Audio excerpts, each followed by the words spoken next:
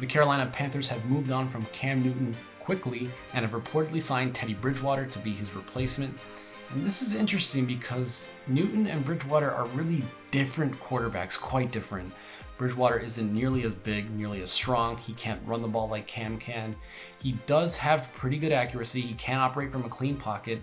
He has a quick release, but he doesn't have the arm strength that Newton had. So I think that this offense really is going to look a lot different. He has been a starter. I think this is a good fit for him primarily because of Joe Brady. He's the offensive coordinator of the Panthers. He had coached the Saints before. He had Bridgewater in the building, and I think he was a key reason why this matchup made sense. Brady knows Bridgewater, he's comfortable with his skill set, and I think they feel like Bridgewater can keep the offense at least afloat for the next couple of seasons. The one thing with this is that it's not really a seamless fit for the future of the Panthers because Carolina really is going through a rebuild. There's just a lot of moving pieces, a lot of veterans are leaving the team, and there are going to be a lot of new faces. And Bridgewater is a player, I think, who needs talent around him to really do well. The Panthers do have Christian McCaffrey. I expect him to be Bridgewater's favorite target from day one. But aside from that, Carolina does have a lot of holes in their skill positions, so